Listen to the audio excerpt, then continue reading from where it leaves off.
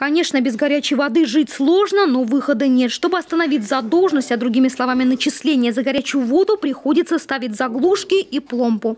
Такие жесткие меры Сочи Теплоэнерго не нравятся жильцам, но это единственное, что может заставить вспомнить о долге. Я приходил неоднократно, оставлял предупреждения, извещения, оплат не было. Уже нельзя, да? Нет.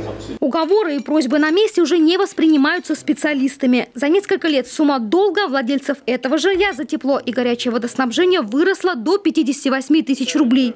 Теперь им необходимо прийти в отдел по работе с должниками Сочи Теплоэнерго и решить вопрос по частичному погашению долга. Иначе придется жить без услуг, которые предоставляет это коммунальное предприятие. Отключение от горячего водоснабжения – одна из крайних э, мер в досудебном порядке, которая используется предприятием для понуждения должников к оплате.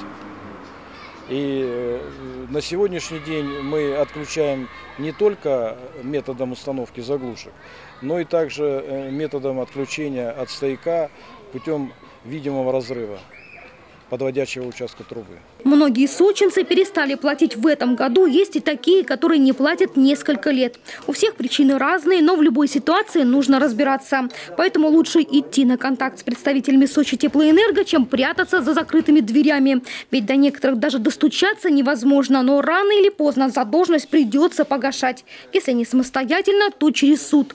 Только в микрорайоне Макаренко должников на сегодняшний день 1070 человек с общим долгом более 34 миллионов рублей. Елена Овсецина, Алексей Давыдов, телекомпания «ФКТ».